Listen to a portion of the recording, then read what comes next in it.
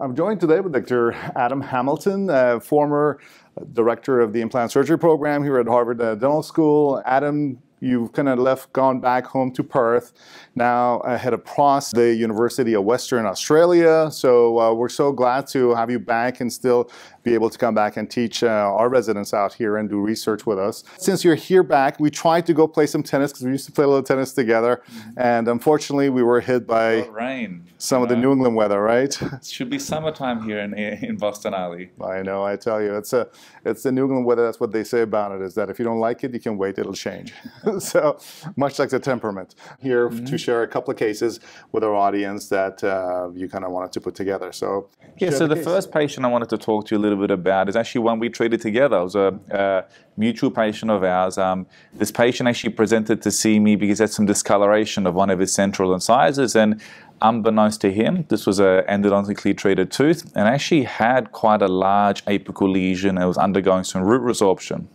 Uh, so it's quite an interesting part to look at an aesthetic presenting complaint, but actually has quite a significant pathology that was present there. Um, so, of course, we need to get that addressed prior to, to doing any restorative intervention. And interestingly, I spoke to some of my colleagues here that were more restorative colleagues, but there was this opinion that the lesion was so large the tooth needed to be extracted. And I'm really glad I sent it to you, Ali. Tell us a little bit about what you managed to do for this patient and how we um, what your diagnosis and opinion was of this. Right. So the, the tooth shows a fairly large uh, lesion that's spreading from the central incisor to even around the lateral incisor mm-hmm. and has a historical root canal, which seems inadequate. There is also extensive apical resorption, which oftentimes happens when you leave a lot of tissue and biofilm inside the tooth and the body is trying to naturally get rid of that. Therefore, it starts to invade uh, inside the tooth, especially if you have an open apex. And this is this causes some um, apical resorption and then internal resorption around the gutta percha at the apex of the tooth.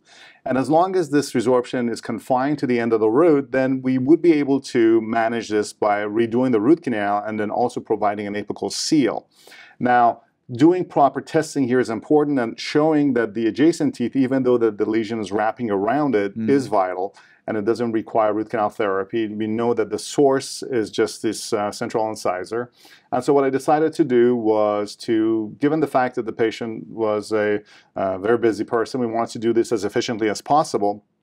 So we did a whole thing in one visit of uh, going, making an access, doing a root canal revision, and then immediately on a uh, orthograde fashion, and then immediately raising a flap and removing the lesion apically and putting a, a retrofill at the apex, essentially trying to repair that resorptive defect. And all of that managed to do in one visit and place a provisional in there and send the patient back to you. Yes, of course. Following that, you know, once we've confirmed that the healing has taken a place and the fortunately adjacent tooth maintained its vitality throughout, even after debridement of that lesion, which was really, really good. Obviously, we need to come back and think about, well, now that the pathology is gone, how do we still restore this endodontically treated tooth, mm-hmm. bearing in mind of the fracture of that incisal edge, the discoloration, and also with the root canal treatment, obviously taking away part of the, the internal tooth structure, how do we minimize the risk of this tooth fracturing? So um, one of the things that we did do for this tooth was some other walking bleach technique, so internal bleaching for this tooth, which surprisingly only took about one session or so with sodium perborate uh, and saline without any hydrogen peroxide. Um, was left into place. You can see the discoloration through here. We did a dynasty wax up to have a look at this. And a question that comes to me often, one of them is what is the rate of relapse of the walking bleach technique? Mm-hmm. And should we always crown teeth that are endodontically treated, particularly anterior teeth? Right. Right. And this is something that I find for me is really a, a, a passionate part where I do really feel anterior teeth should not be crowned where possible. Like on posterior teeth, we know that covering the occlusal surface will help to bind the cusp together. We minimize the risk of fracturing. But on an anterior tooth, when it's a single rooted tooth, I think once you do your cervical uh, reduction, unless it's a really compromised tooth with a, a, large composite which keeps coming off, there are much more conservative ways to restore these teeth. Right. How do you feel about that, Ali? Is, there, is a crown a kind of restoration that you normally would recommend for these teeth because of the seal or from biological right. perspective? Um, because mechanically, I think that we're not always doing the best thing for the tooth once we reduce it down for a crown. Yeah. For me, uh, obviously, enamel is the best crown. It's the natural God given uh, version that we have, and the fact that it is fused 360 around the tooth, that will give us probably the best protection. As we know, once we cut into these teeth and place the crown, due to the extrusive forces, you're going to end up having a little bit of pre failure early on on the lingual aspect of the crown, mm-hmm. and that that oftentimes is why some of these anterior teeth, the crown is still present, but because of pre-failure, you have leakage, and these older crowns end up needing root canals because of the chronic uh, percolation of bacteria from that lingual area because of the fact that the crown is slightly moving and percolating uh, bacteria underneath there. So anytime you don't have to put a prosthetic in there, the better off you are. But there are cases in which aesthetics are a concern, and internal bleaching is a great technique. Mm-hmm. In some of these cases, they may not necessarily bring the entire uh, collar back, but what's nice is if you can do a little bit of internal bleaching, especially with a more um, kind of a safe bleaching solution, such as sodium perborate, which uh, I understand you used, inside the root, what you can do is you can actually end up bleaching the root a little bit. Because a lot of times, even if you put a nice veneer on there, if it's an old crown and an old root canal, especially older root canal cements that contain silver for radiopacity, mm-hmm. cause a lot of staining in the root, root section of the tooth. So being able to bleach that portion of the root allows a little bit of translucency to look mm-hmm. not so muddy and brownish in some of these roots but be able to get a little bit of a and should I be worried about external cervical invasive root resorption if I'm doing this? That's a great question. So external cervical root resorption happens has been noted in seven percent uh, to nine percent of cases with hydrogen peroxide. Mm-hmm. So the moment you stop using hydrogen peroxide, now you've reduced that. There have been no cases actually uh, with the sodium perborate. The problem is hydrogen peroxide is more efficient. You can do that in one visit mm-hmm. in office internal uh, bleaching.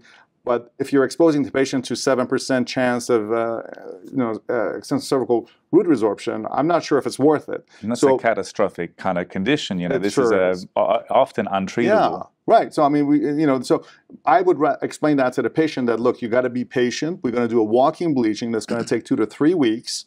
So you know, you kind of held on to this tooth with this collar for so so long, and the two to three weeks is not going to kill you, but it's going to reduce your chances uh, of losing the tooth significantly.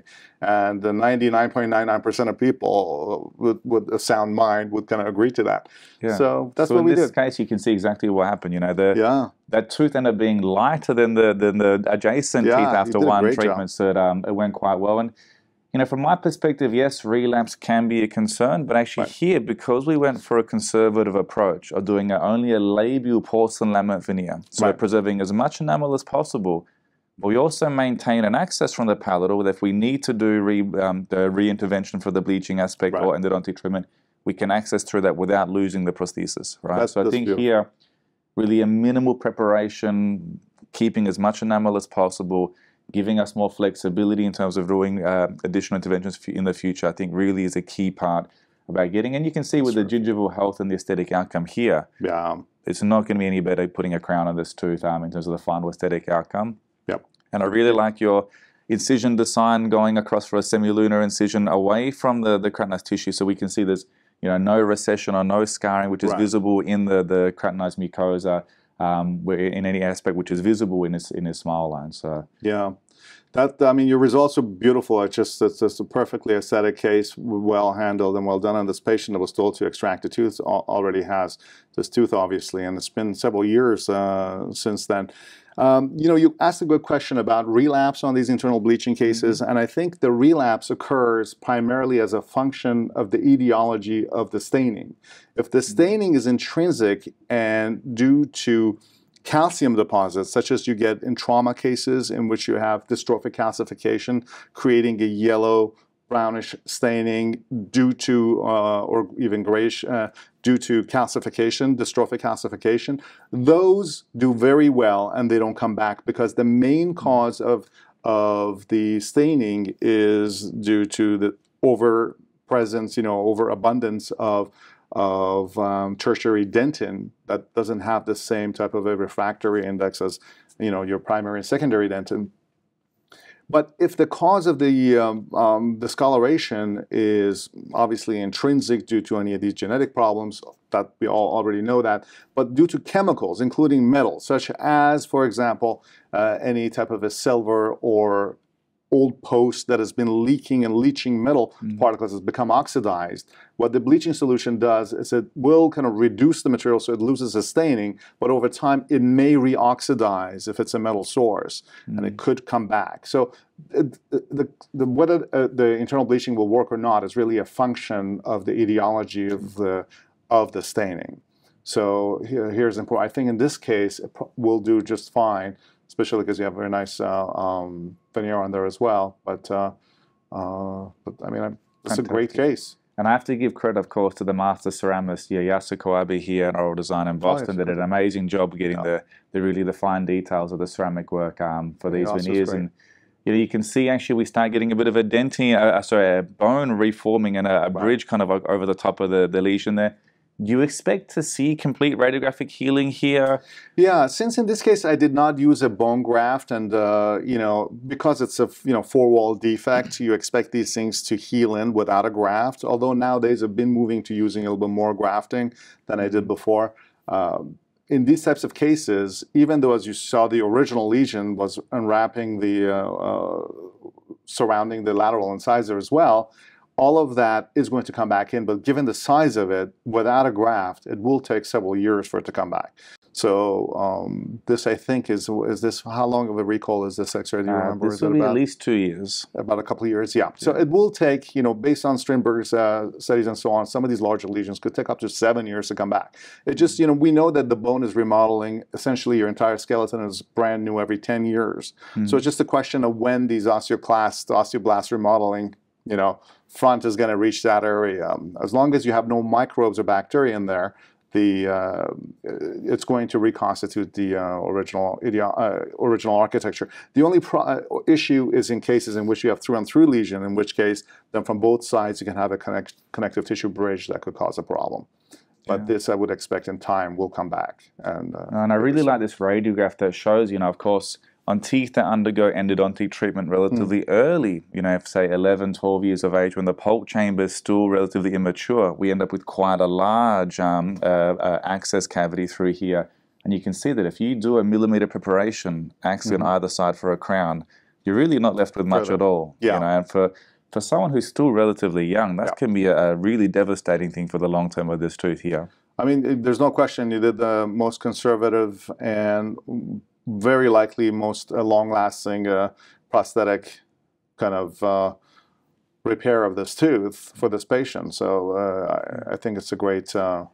But I think your comment about grafting with apical surgery, things a mm-hmm. really good segue into the second patient because yeah.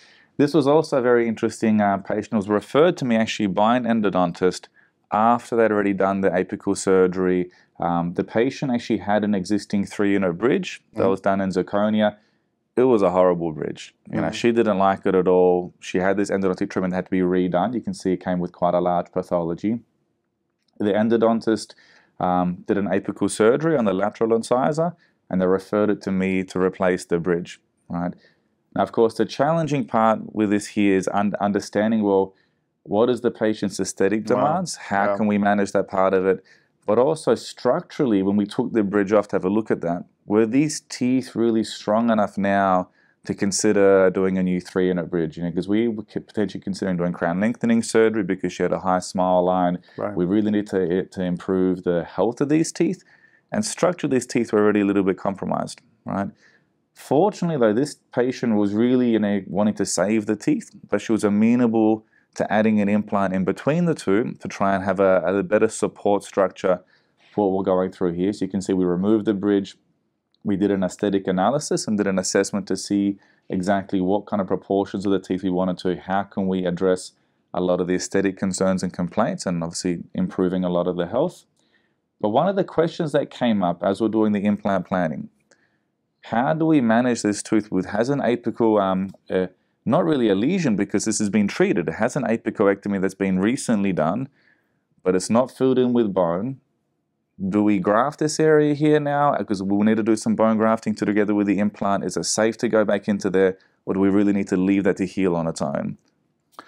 So uh, I think uh, the issue of gr- uh, grafting in endoapical surgery is primarily, I mean, it's one that has been kind of debated back and forth. Most of the literature in endo comes from perio, and perio surgery cases have always been talking about getting these areas grafted, and primarily because at this point, because of the need for placing an implant on the sooner side. Mm-hmm. Um, the function of the healing of the uh, apical lesion, as long as the infection and the bacteria is gone, it will happen, but it will take much longer. So now one could make an argument that look, you may get a little divot there at the very base of the um, uh, of the preparation, and these.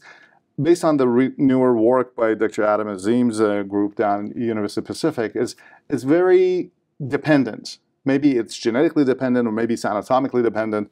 Some of these cases may get a little tiny depression. You, the, the, the socket will fill for sure. But the question here is, as long as it's a you know a, a five wall defect, mm-hmm. essentially, you're just missing the buccal wall. But um, the idea of placing uh, it after the case has uh, already been uh, done, I mean, I'm not saying that would have any merit unless you want to create a potential site that later on, if it does fail, may have an apical. We just don't have enough literature right now to support one way or another. We know that it will heal once the infection is gone. And I've heard people argue that, look, you know, some of these cases that I go to extract after apicoectomy to place an implant, that lesion is not healed. But I'm like, mm-hmm. you are not hearing yourself. That's a confirmation bias statement, right?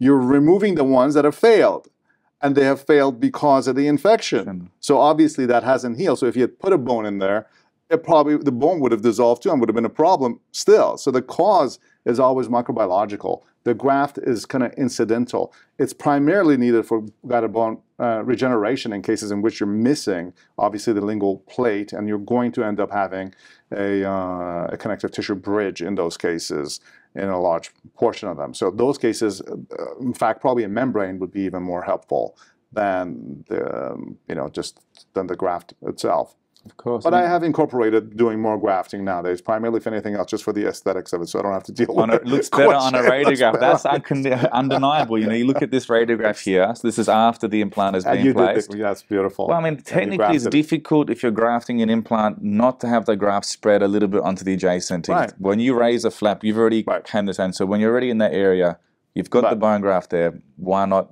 put it across there and just fill that yeah. entire defect through there, which we did. And yeah. you can see radiographically it looks a lot neater it than has. it did without that part of it, but not any healthier because we know that the infection was yeah. treated That's in Instagram the primary ready. treatment. um, but across here, I guess does it give you more confidence in the future if this stays in this radiographic appearance about well we're confident right. that there is no res- no recurrence of the lesion because if we start to see uh, a new lesion occurring it'll be a little bit easier to determine that versus if you have an existing kind of defect there because of, of previous infection is there right. a new defect determining or not a little bit more difficult I assume to, yeah. to manage that or to yeah. di- diagnose that part I think it goes back as we were talking about with bleaching the same thing here is that the etiology of the lesion, right? I mean, if you've addressed the source, which is the microbial contamination from inside the root canal, with an adequately planned way of uh, you know, first of all, doing cases, apicoectomy on cases where the problem is only apical and not coronal leakage, mm-hmm. in which case then you do an effective uh, reduction for three millimeter and then prepare another three to four millimeters, effectively removing seven millimeters of canal space and place an adequate seal so that there is no more microbial uh, egress from the root end into the area. That area will heal as long as it's a firewall defect. Um, but as we, you know, as you said, so you know, and having a graft in there is not going to make any difference at that point because the source and the etiology is the microbes and the bacteria. A graft will do nothing except for getting infected, uh, if anything. So the key here is to, but but as we said, you know, I've become more practical. I'm placing more of them now because aesthetically it's a little bit easier to justify. A lot of people associate those radiolucencies with infection which is obviously just the radiographic decalcification. Again, it goes back to the etiology and the mm-hmm. first principles of what causes things.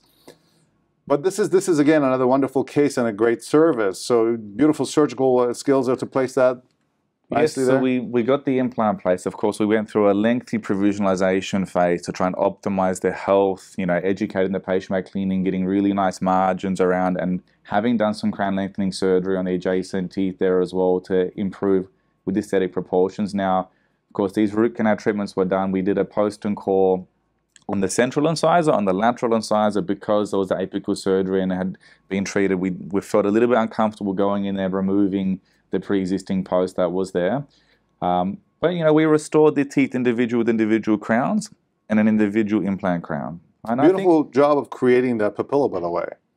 Which is not, not easy, you know. So and I think that's the a key part about here because one of the, I think, um, decisions we had to make early on, and people would look at this and say, I wouldn't treat it this way. I would have taken those two teeth out and maybe done two implants and a three in a bridge because mechanically that may be more sound or, or stronger than what we're going to do here, particularly in a patient that does show some signs of parafunction. You know, that lateral incisor now mm-hmm. is a little bit of a weak link from a mechanical perspective. But from an aesthetic perspective, by keeping those teeth, we really maximize aesthetic outcome because with an implant prosthesis, it's very difficult to achieve a papilla, to achieve this kind of soft tissue, and have the options to later on in the long-term health of this patient to have the option of implant is always there later on as well, right? right. So I think for me that was also an important part of bringing the patient into the decision-making process, right? right? She had the root canal treatments done. She really did not want to have the teeth extracted, and yes, arguably you could say, well, we could maybe say it is unrestorable, although I think that's going to be pushing on the fringes of what most people would say. But yes, doing implants to replace all three may have been an option. I think there are definitely advantages in keeping those teeth, in, in doing some treatment to preserve them, but adding the additional implant to, to mechanically try and make it as, as strong as possible yeah. for, given the circumstances. Uh, and you know, Adam, one thing that people I feel like uh, don't consider when they're making treatment plans for many of these teeth is the fact that this patient is what, what 37 years old? Yeah, she's young. She was so, not old. But you can think about it that she's had 30 years on function of that tooth and didn't break off the way it was, mm-hmm. right? So the idea that it's going to break off now all of a sudden, but nothing much has changed since over the past, I mean, the apical is the apex of the tooth, right? But the tooth has been kind of in this shape of preparation for a good number of years. Um, so we kind of always this, you know, as, as dentists, I've noticed this myself too. We, we look at things at a momentary thing, and then we look at our own past's knowledge to process what's the prognosis. We oftentimes don't look at the patient itself. Like, look, the, you know, uh, the tooth has been there all this time mm-hmm. with this bridge for underfunction, or function, whatever it was. It didn't snap off. And um, I see that a lot also with my colleagues in endo, where you, they see a case that the X-ray, the, the, the endo doesn't look so good. Maybe it's a little bit short right? There's no lesion, there are no symptoms. When was the root canal done? You know, 15 years ago. Well, all of a sudden it has to be redone because it doesn't look good. It's like the, the value of time itself, you know, is uh, is an indication for prognosis. You know, even though in finance, you know, in finance they tell you past performance should not be an indication of future performance.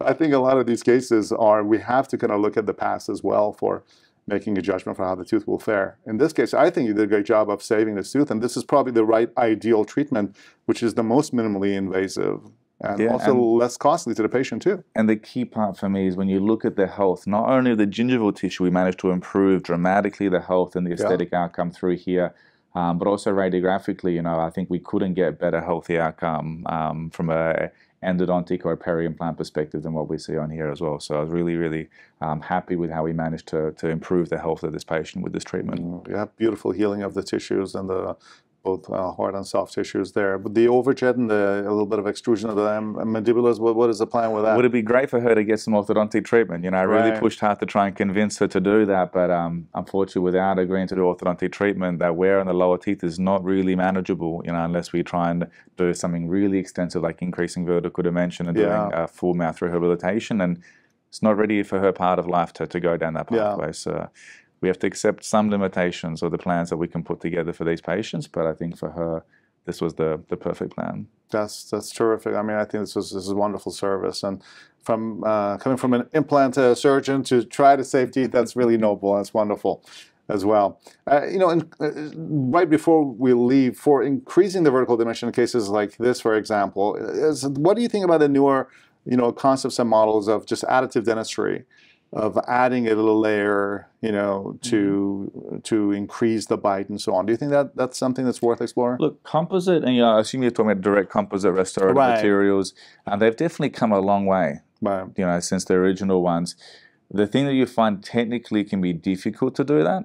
So Yeah. probably the biggest challenge is, you know, what is in these hands to really make it look good, but also make sure we don't have plaque retentive areas if we are going to do direct freehand and establishing a, a good occlusion again. So that's really the tricky part. Now with more modern digital technologies doing diagnostic uh, digital wax ups, but also making clear matrices to then use injectable composites.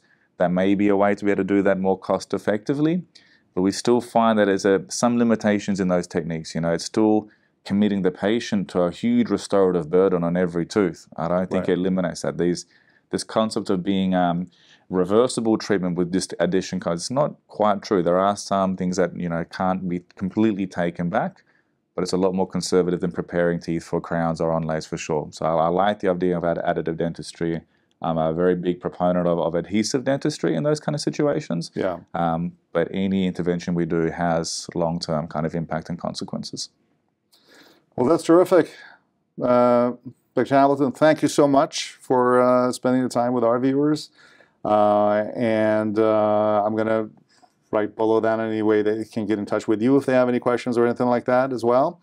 In the meantime, uh, I was joined by Chair Adam Hamilton, the um, director of PROS at the University of Western Australia, and also a faculty and lecturer at, at Harvard School of Dental Medicine. And it's great to see you back here uh, enriching us with your knowledge. Fantastic. Thank you very much, Ali. And Adam. I hope that next time I hear we can finish off that tennis match and see who's going to be the champion. Huh? I'm sure it'll be you, but, but terrific. Thank you. For We Will then Know, I'm Ali Nasseh, and let's take some tea.